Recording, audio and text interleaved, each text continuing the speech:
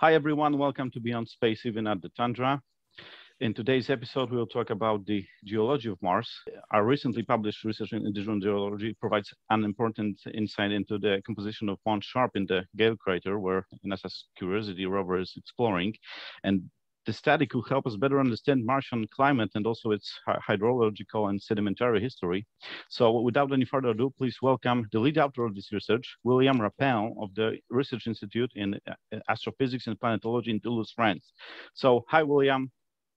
Thank you for your uh, participation. Hello. okay, so um, if uh, you can present uh, your research, uh, what did you find exactly?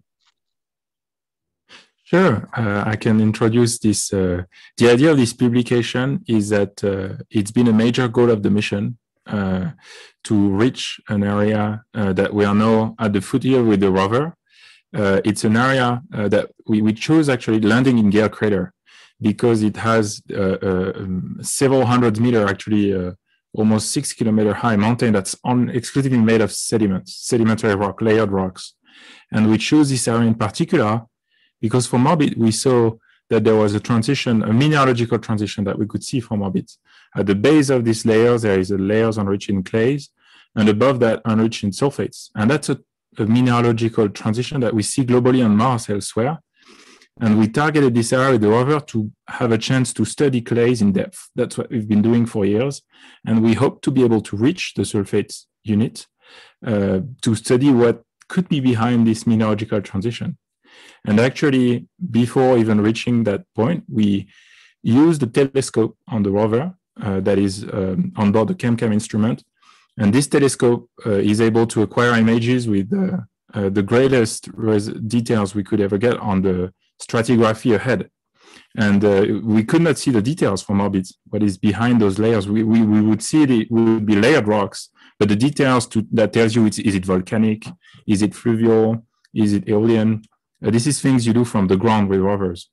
And for the first time, we had those telescopic images using the rover telescope uh, that brought us details, and we discovered uh, what what, what uh, are the sedimentary structure in that uh, sulfate unit that we didn't know, uh, we didn't have information before. And we discovered actually there is an environmental change.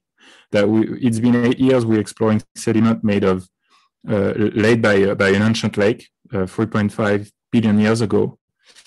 And hundreds of meters of those sediment of, of, of, fluvial and lake environments that piled up and turned into rock. And then above, with the, with the rover, we discovered structures of cross beddings, a very large scale, like meter, meter scale, of fine cross bedding um, that are uh, cross cutting each other and that are really typical of aeolian dunes. So your environment goes from a lake, it dries somehow, and then it goes into a dune, an arid dune field. Uh, and the surprise, so that's the first time we have a confirmation that sulfates can be related to uh, climate change on, on Mars, an ancient climate change. And, and above that, the surprise we got is that higher up, it's back to a, a more humid environment because we probe the, this large, very large stratigraphy, it's hundreds of meters of thickness. And, and higher up, we see structures that are more going uh, back to a more humid environment, be floodplain environment. So it's not a monotonic change to dryness. Um, the climate apparently fluctuated. We, we, talk about high order fluctuation because those are hundreds of meters. So they represent millions of years of climate record. Um, and they are all like ancient uh, stratigraphy. So we published that paper because that were was the first details we could get of this uh, climate of this transition, uh, this ancient transition of the climate on Mars. Yeah, so um, this uh, research um, um, could tell us something more about, uh, I don't know, uh, the, the, presence of liquid water uh, sometime on Mars and uh, eons ago, like uh, the, this is some hint of um, yes. ancient lakes. yeah. Yeah, actually, this this stratigraphy is age. The age of the stratigraphy, 3.5 billion years ago, is a very crucial time in the history, the global history on Mars. It's a global history that we could we could um, we were able to lay using orbital observation because we saw this change of mineralogy all over Mars in terrains that are very old. And then after three billion years uh, uh, after three billion years ago, all the younger terrains there is almost no geological activity. So this, this stratigraphy is important. It's in very good shape. It's very ancient. On, on the Earth, you could not have an, a stratigraphy of that age. Uh, so it's very old.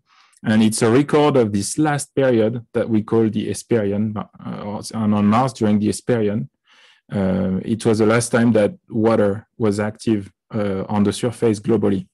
And um, after that, uh, there is no geological activity uh, that is significant in terms of of water uh, erosion and water alteration. So it's kind of the last time water Mars had water, and we don't know how it how the climate changed. we don't. It's the first time we have details on the climate evolution of Mars during that era, and we see large scale fluctuations. Yeah, so so we can now, uh, based on your study, foresee uh, some kind of mega forecast about uh, how the climate on Mars will evolve in the future, right? So we could see uh, um, what it what happened to Mars in that time. Uh, that was a fate. The fate of Mars was very very typical of Mars. Uh, the Earth didn't experience what Mars experienced, which is that Mars lost its magnetic field globally uh, about in that period, a little earlier. Uh, we don't know exactly when, but it's during those ancient time. Uh, and this impacted the atmosphere, for instance. We know the, the, the Earth, the atmosphere of, of, of, Mars was eroded by the solar wind because it wasn't protected anymore with the so. So after that, there was a point of no return, and Mars then became arid.